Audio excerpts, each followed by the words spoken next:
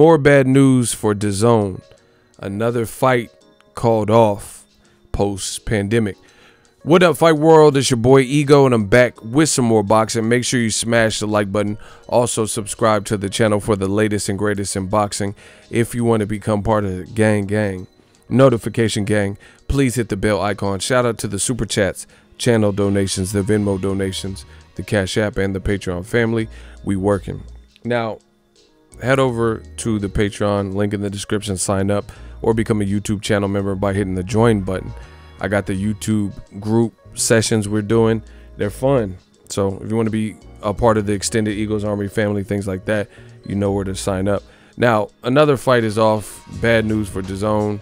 Link in the description. Amanda Serrano says Katie Taylor fight is now off. Explains why. Says Amanda Taylor, the nine-time world champion in seven weight classes of Puerto Rico, was scheduled to fight for the undisputed 135-pound champion Katie Taylor since last year. However, due to differences in negotiations, the mega fight won't take place.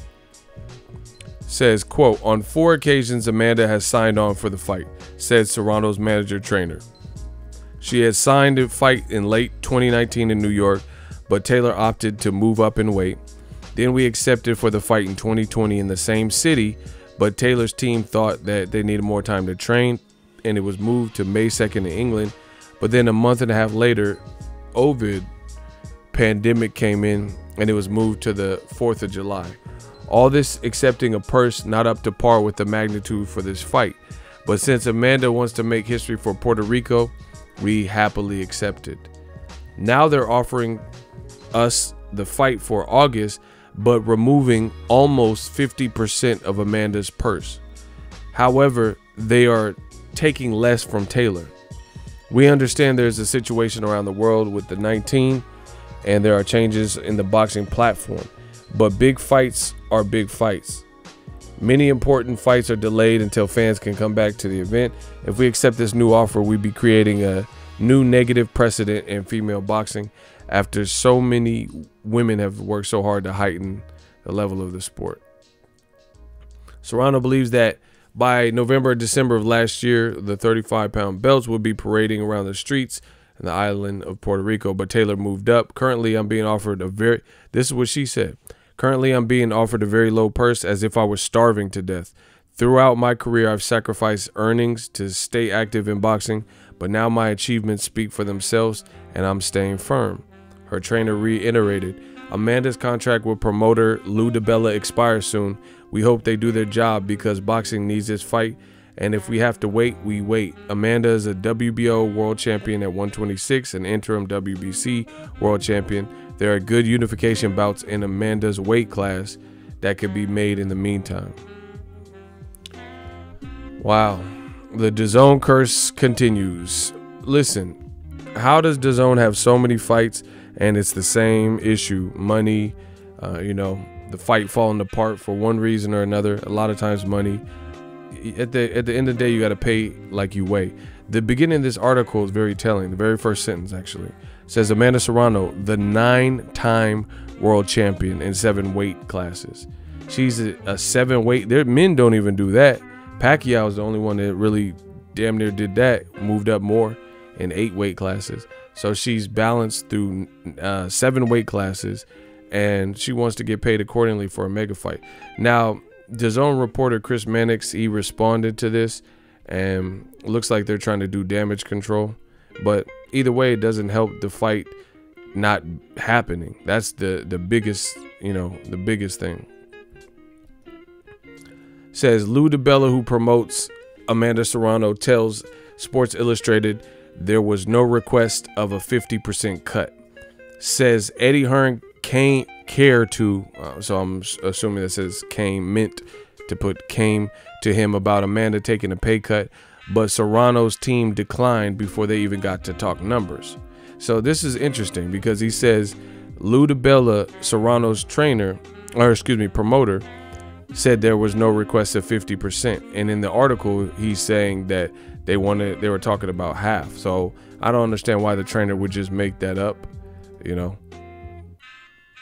But it says Eddie Hearn came to Amanda about taking a pay cut. So the bottom line, you know, they're they're trying to send I guess a DAZN reporter in there to create like a damage control fluff piece. But the bottom line is post pandemic, businesses have been hit. It's a big fight. It's an undisputed unification. And she's staying firm with how much money she wants. She felt she was already getting lowballed to begin with. That's what the article says. If you re if you reread it, link will be in the description, right?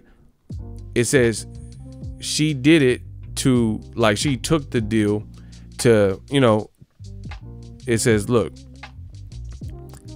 accepting a purse not up to par with the magnitude of this fight before the pandemic, you know? So they were willing to accept something that they didn't feel was up to par. But since Amanda wants to make history, we happily accept it. So the bottom line, whether it's 50, 45%, 40%, whatever that they're trying to clean up now, this has been confirmed by both parts. See, this is how you have to do like Judge Judy or something. You have to look at what both people are saying and things like that, and see who's lying and and things like that, and like just look at read between the lines. So the bottom line is Amanda Serrano's team came out with the article, and then they sent a DAZN reporter to set, release this tweet, and the common denominator is Eddie Hearn came to Amanda about taking a pay cut. So from both teams, they're acknowledging a pay cut. So that's really all that needs to be said. Whether it's 50%, 40%, 10%, they're asking her to take less money. So herein lies the problem. She thought the deal that she took initially was a raw deal, but she was willing to do it for the chance at the belts and a chance at history and to uplift the, the women's boxing. But all things considered, that didn't happen with the pandemic with the Rona and it sounds like now you're coming you're like double backing and saying hey we'll reschedule the fight but we want to give you even less money so i can understand how that would be a problem you already thought you were getting lowballed and then they're coming back and trying to take more another thing that's interesting this report from the DAZN reporter says Serrano's team declined before they even got to talk numbers, but then he sent a follow-up tweet and it says, "My understanding is that the package for Amanda Serrano would still be well over $200,000 to fight Taylor.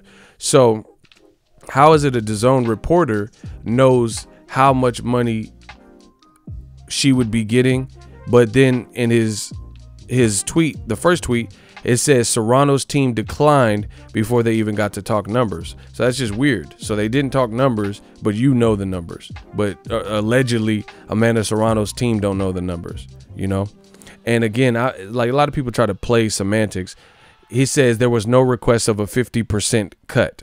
But if you look at the article, it didn't say it was 50% exactly. It says it was almost, look, it says now they're offering now they're offering us the fight in August, but removing almost 50%. So to be honest, that could be semantics because he admitted that it was almost 50%.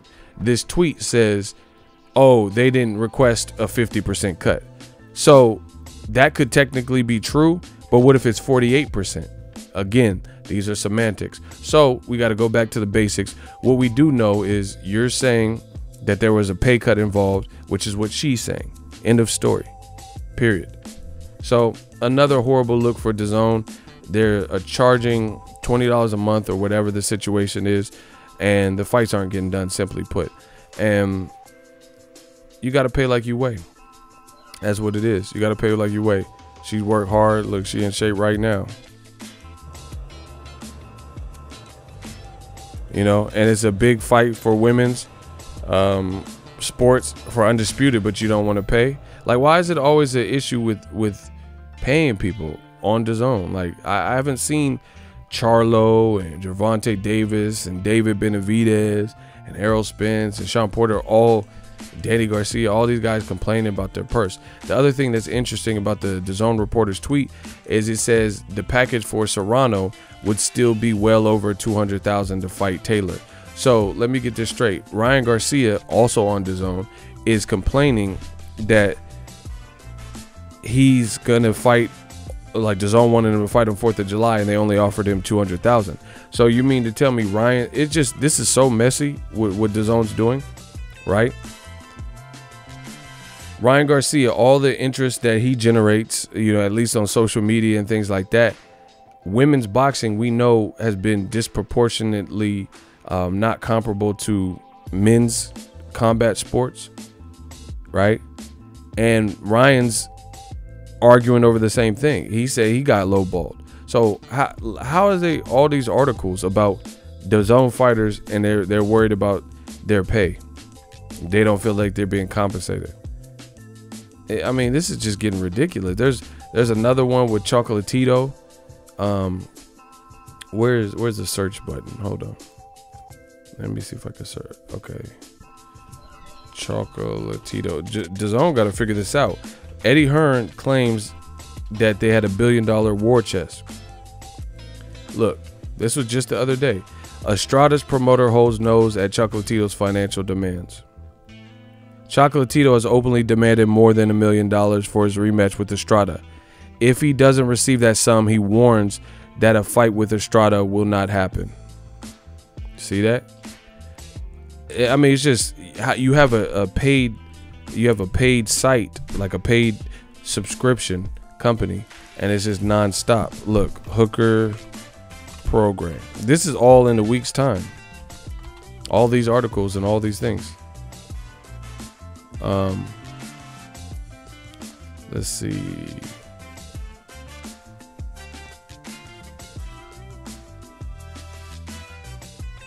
Let's see if I can find it quickly.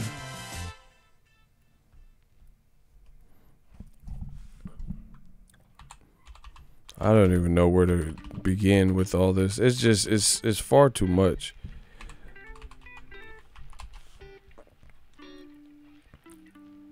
Look, here's one. Regis Prograis is in doubt. So June 16th. The fight got canceled. So how many fights are gonna get canceled with DAZN? Ryan don't want to fight Fourth of July. He says, look, Eddie Hearn writing books and stuff. Ryan don't want to fight in July. Said he's being underpaid for his brand. Amanda Serrano, she said, I'm in a, a huge untie, uh, undisputed fight. I'm not being compensated. They're saying Canelo and Billy Joe Saunders is not likely anymore. You know, this pandemic looks like is it's doing a number on them. Let me know what you guys think. Another fight getting canceled.